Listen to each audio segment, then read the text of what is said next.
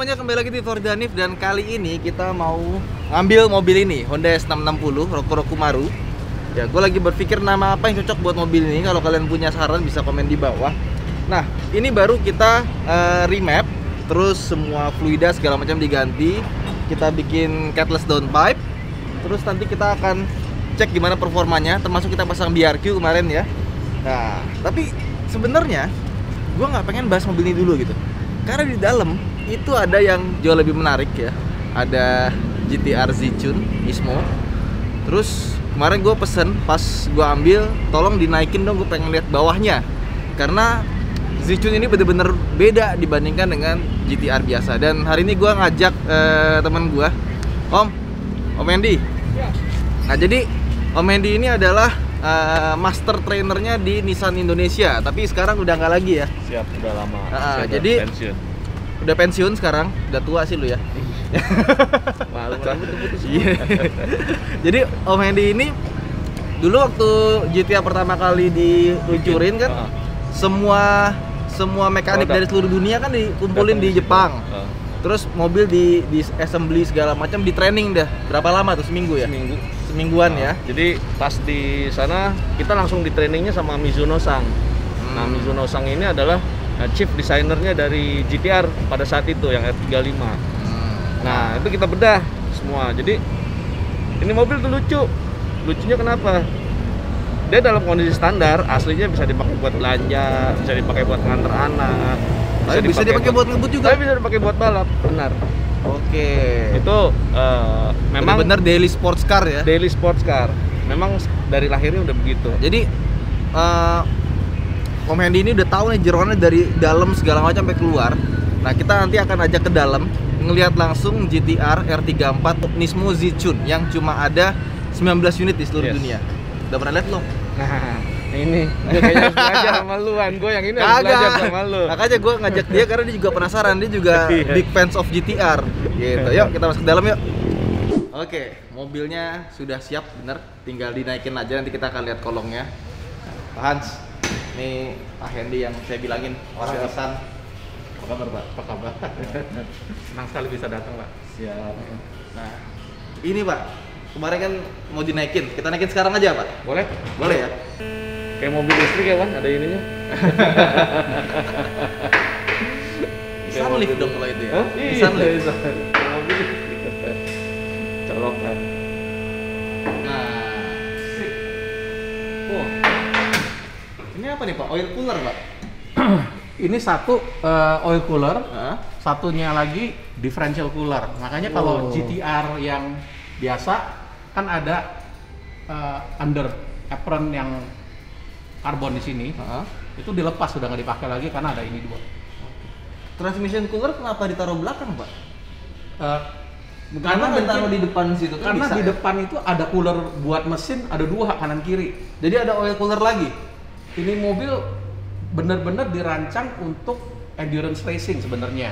Oh. Jadi coolernya itu di mana-mana. Termasuk diferensial aja dikasih differential aja dikasih cooler. cooler ya. Transmisinya dapat cooler. Waktu itu pernah saya Tes tes. transmisinya jauh banget cooler di depan. Iya. Kalau yang GTR ini kan transmisi di belakang ya. Berarti Iya. ini pompa olinya ya, Pak? Iya. Ini pompa oli, ini pompa oli. ya. Oke. Pressure-nya. Ini buat differential cooler. Ya kan? Ini buat transmission jalurnya. Oh, panjang banget. Iya. Jadi mungkin eh, dengan cooler ini kapasitas olinya juga nambah kan? Hmm. Otomatis. Otomatis eh, cooling capacity-nya juga nambah. Hmm. Gitu. Gila sampai sampai depan belakang Iya. loh. Hmm. Ini makanya gue harus belajar nih. Gila. Oke. Ini Olins dari sananya, Pak? Enggak, dari sananya itu saks. Oh, Tapi saya merasa saks itu keras keras ya, dia pupilo mount kan. Hmm. Oh. Jadi eh, bantingan tuh buat jalanan yang lokal kayaknya nggak terlalu enak. Makanya saya ganti Olins. eh, Olins Olins. yang ini. Yang ini enak deh buat buat jalanan di sirkuit atau di jalanan biasa. Mantep Olins. Ini ini double wishbone. Ya, ini double wishbone. Ke bawah, depan belakang double wishbone-nya. hanya di mobil yang ini banyak sekali kalau diperhatiin eh, tambahan-tambahan reinforce reinforcement di chassis ya mas ya. Iya, brace brace-nya ya. Ini juga titanium ya? Ini titanium semua. full Soalnya titanium. warnanya ini lah, Hmm. titanium. GTR biasa itu nggak ada reinforcement chassis kayak begini. Ini karbon nih ya. Ini karbon. Ini apa nih pak? Ini Ada- reinforcement juga nggak ada di standar. Nggak ada, di standarnya nggak ada ya? Standarnya nggak ada. Jadi banyak yang saya bilang tadi reinforcement reinforcement tambahan supaya membuat chassisnya itu benar-benar rigid. Rigid. Link ini juga kayaknya Ini nggak ada tambahan. ya? Kayaknya tambahan deh. Yang ini nggak? Eh, ini ya, ini ya. Iya. Oh iya, iya. belakangnya. Itu juga rada tambahan lagi ke ke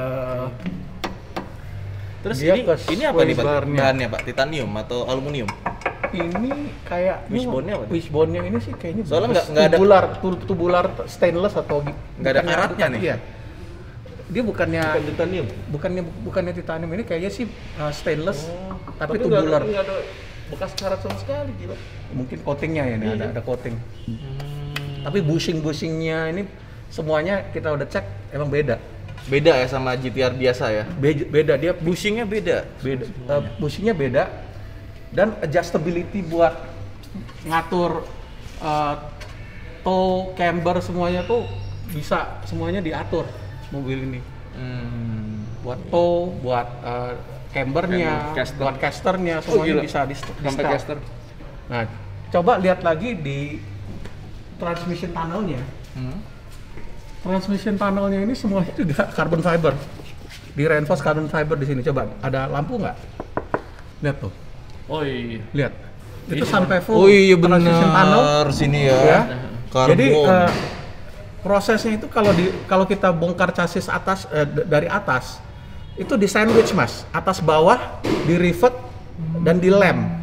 Hmm. supaya rigiditasnya tinggi sekali. Memang mobil ini kan dirancang buat balap. Jadi eh, boleh dibilang kayak chassisnya adalah kanvas. Kanvasnya kan?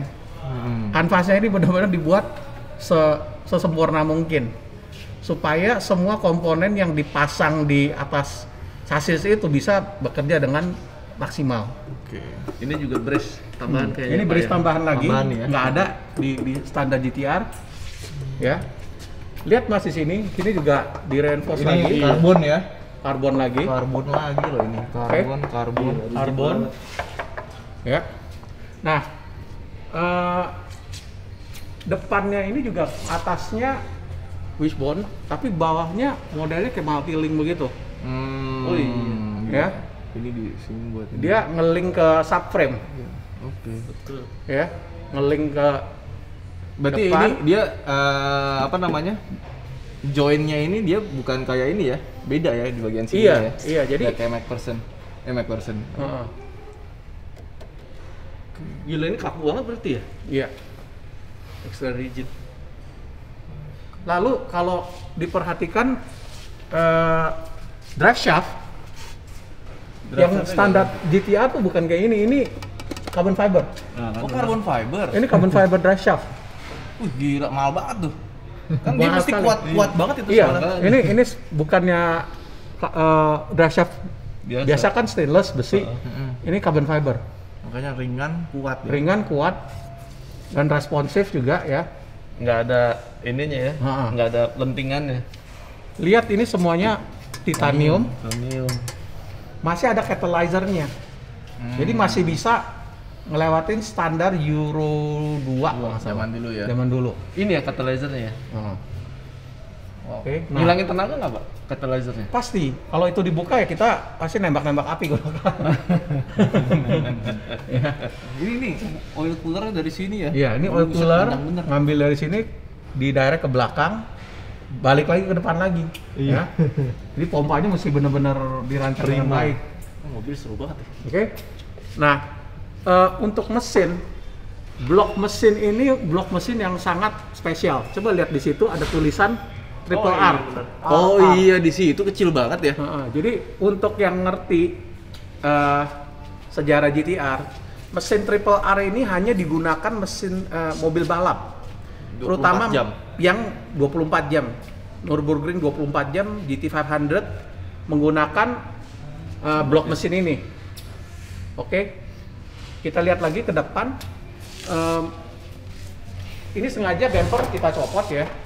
Jadi kelihatan air intake-nya kanan dan kiri Ada oil cooler lagi. Ini ada oil cooler dua kanan kiri. Itu buat mesin. Buat mesin disambung sama sandwich plate ini Pantesan dia transmission coolernya taruh di belakang. Benar. Jadi ternyata mereka sudah benar-benar research and development dan dia tahu butuh dual dual capacity. Oh, iya, iya. Ya kan? Ini lihat aja kalau dibuka telanjang begini, baru semuanya fungsional. Jadi dari bumper masuk ke sini, dibuang lagi ke samping. Oh iya, sini ya. Dikasih Jadi aliran lagi ya. Tidak ada yang cuma buat gaya, tapi semuanya fungsional. Rem, Mas, kita lihat remnya. Ini juga rem khusus ya, bukannya bias yang biasa dipakai GTR. Hmm. Tapi ini rem dari Brembo, monoblock, six pot. Monoblock itu berarti satu piece, Satu piece. cetakan. satu piece Nggak ada sambung. CNC sambungan, tidak ada sambungan, rigid banget. Dan istilahnya mobil ini ya boleh digeber di sirkuit 10 lap juga nggak bakalan overheat. Biasanya GTR yang standar itu 2-3 lap Tapi ini udah belum overheat. karbon seramik ya. Belum. Karena zaman dulu teknologinya mungkin belum ini ya. Iya. Mungkin mereka mikir kan untuk reliability eh, pada saat itu sekitar 2005 dia masih pikir ya udah yang paling penting reliable dan eh, nggak ada eh, kendala di ke- di kemudian harinya begitu. Ini bannya emang ini, Mas. Oh, ini GT ban GT radial. GT radial karena kita cuma buat main-main aja waktu Oh. itu di sirkuit ngetes ya. Eh, buat ngedrift, buat buat fun aja, bukannya buat lap time. Ini Saya rasa sini ya, di- dibikin iya, dibikin flow lagi loh. dibuat flow lagi. Nah, sekarang coba kita eh, lihat dari segi engine bay ya. Oke. Oke, Mas. Gile. Top ya? Top. Tadi bisa kelihatan karena ini dilepas nih bawahnya kan ya, dek bawahnya ya. Ini deck bawahnya kita lepas Karbon nih semuanya ya. Full karbon. Waduh. Ini pun juga karbon nih, Pak ya. Eh, iya, Mas. Jadi karbon tapi dicat ya. dicat. Nah, kita lihat dari eh, bodi depan ini dulu. Eh, balik lagi ke chassisnya tadi kan saya bilang di sandwich mas. Atas bawah itu di press sama karbon, di rivet sama di di, di lem lagi. Makanya rigiditas itu tinggi sekali. Kalau chassis sudah rigid, suspensinya itu baru bisa main. Hmm. Kalau flex segala tuh udah udah nggak bakal Jadi bagus. jadi bukan suspensinya dikerasin ya, tapi Bukan. Suspensinya dikerasin. dituning untuk track tertentu, tetapi chassisnya itu mesti benar-benar rigid. Nah, di samping reinforcement karbon ini, kalau dilihat eh, ini mobil kan dibangun ulang, hmm. itu last titiknya tuh dido didobelin semua, sekitar Oh, windscreen, gila. di kolong, di di pintu sini, di windscreen sini, di pintu sini. berarti lasnya di double. Lasnya di double mas. Makanya chassisnya tanpa reinforcement karbon memang sudah Rigid. rigid. Ditambah rigiditas lagi pakai karbon Ini di sandwich. titanium ya? Ini strut brace-nya titanium. Ya. buset. Ringan sekali. Iya. Ini paling beratnya 3 kilo. 2-3 kilo paling. Itu bikinnya rapi banget. Eh, ini bisa bolong-bolong begini nih. Hmm. Laser. Laser cutting. Oke. Nah, kita lihat eh, Gila. body parts-nya dari depan bumpernya ini karbon. Bumper itu karbon ya? Karbon, dry karbon ya. Ini juga dry karbon. Coba perhatiin Mas. Ini kan ada airbox. Hmm. Airbox ini ada Oh iya. Itu ngambil dari situ ya? Ngambilnya dari sini. Oh. Ini ngambil dari depan. Oh. Jadi ini Fungsi. masuk fungsional, udara masuk sini, turun ke bawah ke airbox. Nah, ini ada rem air effect. Karena ngambilnya kan dari grill depan sini, Hmm. mobil lari makin kenceng, makin banyak yang makin masuk banyak udara ke sini. Hmm. Engine-nya tadi seperti kita udah bilang, bloknya tuh triple R, turbonya khusus buat mobil ini IHI, di stroke 2,8 dari 2,6 ya. Eh, Conrodnya aja titanium, dia punya crankshaftnya itu bener-bener udah di billet dan juga udah di, di, di balancing ya. Eh, pistonnya forge juga, Ini harusnya camshaftnya dibongkar khusus dulu. ya jadi eh, teknisinisme ditugas masing-masing ditugasin satu orang aja untuk ngebangun mesin satu mesin Ini ada di sini ya, Pak ya? ya Sama kayak GTR nya. Omori Factory. nah kalau bisa dilihat di sini fendernya pun beda ya fendernya ini ada air extractor di sini ada lubang-lubang jadi panasnya mesin itu diekstrak dibuang ke belakang ini ada bolong di sini mas Di sini buat buang udara panas. Ini karbon juga ya? Di sini Dan kebanyakan itu karbonnya itu di bagian depan karena emang Iya. GTR itu beratnya berat di depan dia. Iya. Memang mobil ini nggak lebih ringan dibanding GTR yang standar, Mas. Hmm. Tetap 1600 kilo. Tapi saya pernah ketemu sama engineer Nismo. Hmm. Mereka ngambil eh, satu unit yang sudah dibuka semua powernya. Hmm. Lalu dites eh, quarter mile 400 meter. Hmm. Mau tebak berapa, Mas? 10,5 flat. Itu dengan eh, dia buka powernya semua. Mungkin lebih dari eh, 650 700 HP. Itu di launch 5000 rpm 10,5 detik quarter mile. Jadi eh, reserve power itu banyak banget mobil ini. Dari pabrik 550 HP itu masih dijaga banget, nggak nggak dilepas semuanya. Hmm. Berarti ini masih banyak potensinya ya? Ma- masih banyak potensinya. Ini carbon ini kan bisa di Bisa di style eh, dari dia- samping. Dia, dia adjust angle attack-nya. Lalu lihat lagi. Memang ini eh, reinforcement reinforcement karbonnya sampai ke belakang sini. Karbon semua ya? Semuanya karbon. Ya, ini ada bracing lagi di sini. Ngikat kanan kanan dan kiri. Ya. Ini ini GTR biasa ada nih. Ya. Jadi jangan salah karbon-karbon yang estetik itu beda mas. Ini dry carbon yang digunakan untuk fungsional, untuk untuk strength ya. Dan bagian belakang justru malah nggak di karbon sama dia ya? Nah ini boleh dibilang sih hampir standar. Mungkin biar weight distribution juga kali. Iya. Terus dalam bedanya apa? Cuma Oke. dalam nggak begitu menarik sih sebenarnya ya. Nggak apa-apa. Kita lihat aja dalamnya. Ini yang dari kelihatan paling gampang, ini seal plate-nya. Ada Zichun. Terus ininya kursinya Nismo. Ininya eh, pakai Alcantara atau Bludru Velvet. Ininya kulit. Ya dalamnya sih nggak begitu spesial ya. Eh, Setirnya. ininya juga apa? eh, shift knob-nya dia shift throw-nya tuh udah shorten mas. Coba ya, saya coba Nah, boleh pak. Boleh boleh mas. Ini ya, eh, dia pakai velvet. Gue pikir awalnya yang velvet itu merah ini doang nih. Ternyata HP atas atasnya juga velvet semua. Jadi semuanya bludru. Cuma kelemahannya bludru itu ya makin lama dia makin botak gitu. Kilometer berapa ya? Oh nggak ada akinya. Ya, Akinya dilepas lagi di cas. Ini, ha. Nah, bentar ya. Nismo GTR. Waduh, koplingnya berat banget. Wih, luar biasa koplingnya berat. Wih, ini pendek banget nih. Udah bener short row ya. 6. Ini ada tulisannya 1 2 3 4 5 6. Terus ini ada ke kanan lagi tuh R. R-nya warna merah. Logo GTR Racing. Tapi sebenarnya dibuat mundur. Naikin ke sini. Udah bisa masuk gigi mundur ya. Koplingnya enteng. Om. Uh, luar biasa berat. Berat banget koplingnya. Ininya eh, baru ya, kemarin katanya rusak. Emang kelemahan GTR itu ininya nggak tahan lama. Ini tutupannya common part sama Nissan Grand Livina SV nih, yang single din. Kalau kalian pakai Livina yang tipe Harus SV, berbangga lah itu. bangga lah itu partnya sama dengan Sama GTR. GTR. Wah ini luar biasa ini mobil. Oke, ya itu kurang lebih tentang si Nismo Zichun ya, luar biasa banget mobilnya. Kapan-kapan mungkin boleh kita coba pak ya. Boleh mas. Kita towing, taruh mana gitu, coba nyepir. Wow, Paling enak sih disentuh. disentul ya. Iya. Tapi nggak takut stone chip atau apa gitu? Nah, saya mah memang mobil ini buat eh, dipakai di buat fun lah ya. Itu lihat aja bempernya juga Stone chip gopeng-gopeng semua ya, gopeng-gopeng semua.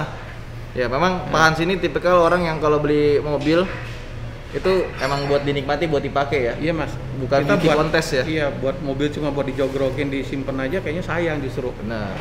Jadi kita nggak bisa appreciate apa yang dirancang sama si engineer, didesain Hmm. sama mereka capek-capek, di develop. Kita nggak bisa nikmatin buat apa kalau begitu? Benar. Cuma buat punya doang. Oke, ngomong-ngomong soal mobil ini kan udah selesai kita bahas, Pak. Oke. Gimana tadi S660-nya dari coba, Pak? Nah, saya kan waktu Mas datang tuh saya lagi pergi keluar ngetes ya Ah. mobilnya ya. Asli saya kaget karena saya dulu pernah punya NSX kan.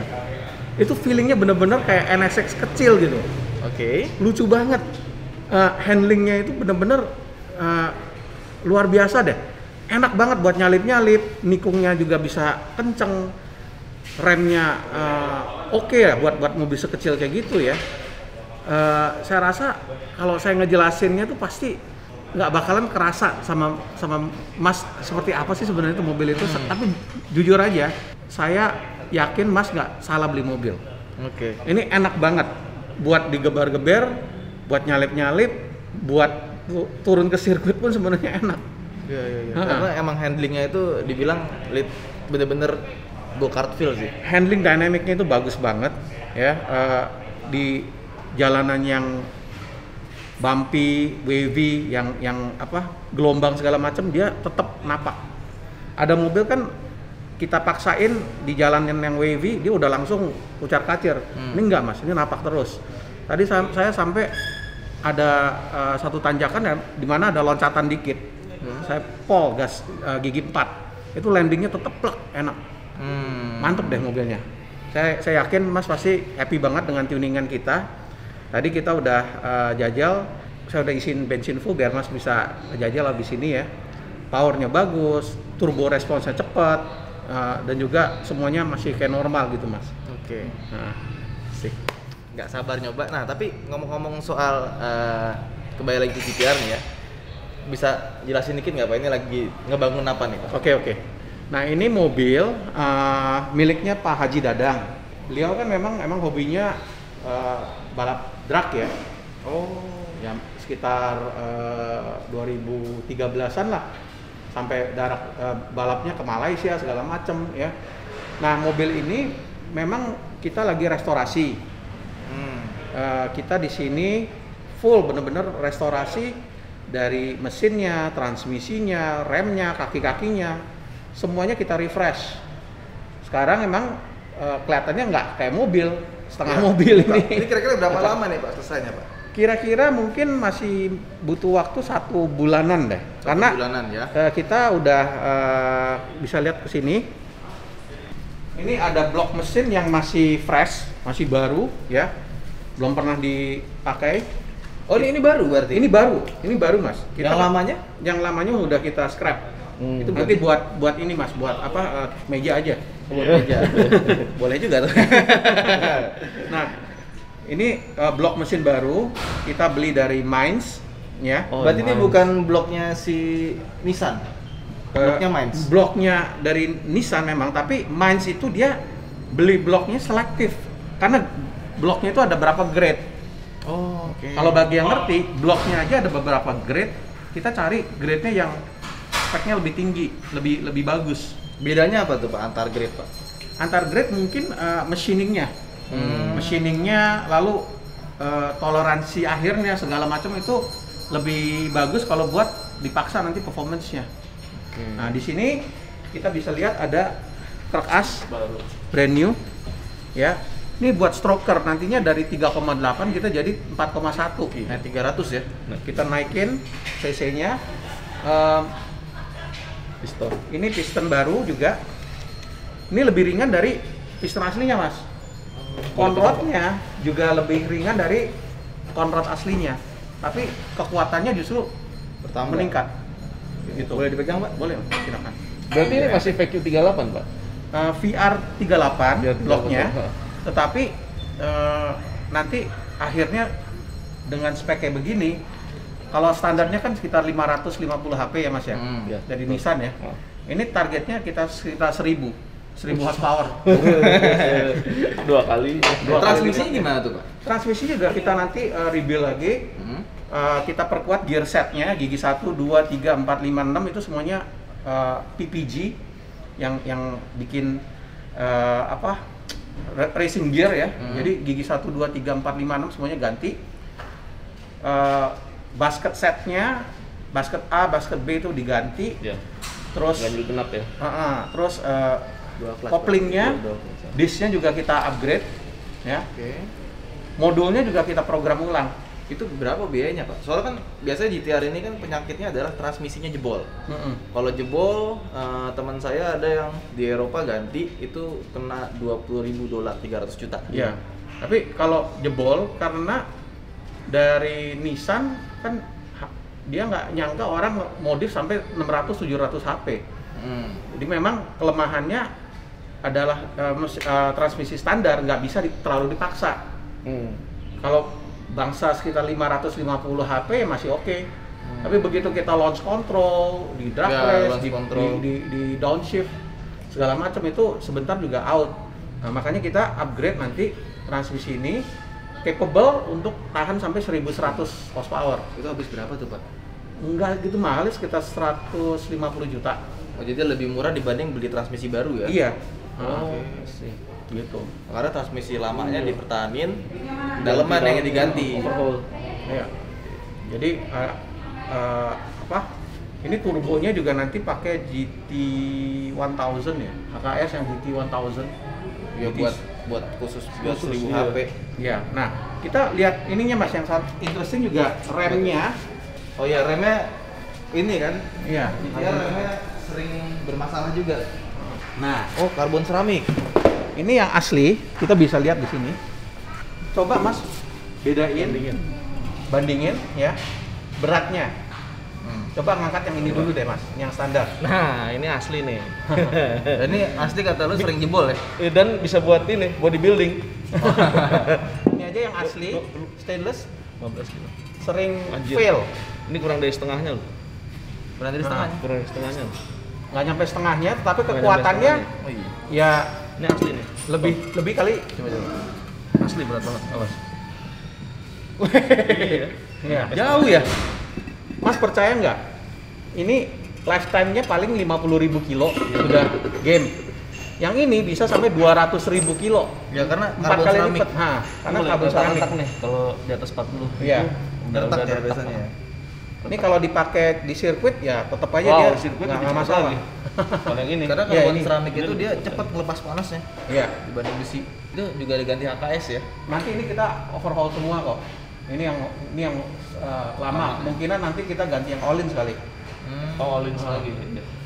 Senengannya oh lins. All-in Enak. enak kalau buat Indonesia eh, apa eh, jalanan yang bergelombang yang banyak bumpy itu enak banget. Shock breaker motor aja oh, lens enak. Hmm. Harganya juga enak. Itu aja mungkin vlog kita kali ini. Jangan lupa untuk like dan subscribe. Dan buat teman-teman eh, pantengin terus vlog ini karena kita akan nyoba mobil yang nggak nyampe 20 unit ini di track beneran. Saya Danif, sampai jumpa di vlog berikutnya. Bye.